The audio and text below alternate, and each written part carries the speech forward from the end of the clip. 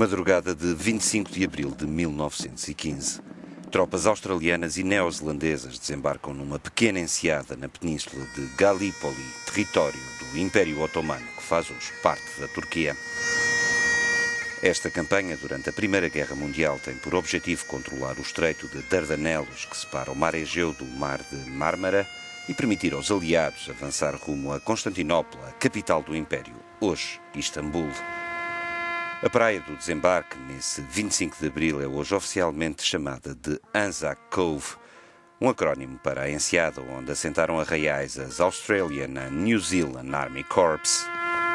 101 anos depois, o mundo recorda os cerca de 150 mil mortos nos oito meses de batalha pela Península, uma campanha que acabou com a retirada dos aliados, mas que também serviu de base à Guerra de Independência Turca, que culminou oito anos depois com o fim do Império Otomano e a criação da República da Turquia, sob a égide de Kemal Atatürk.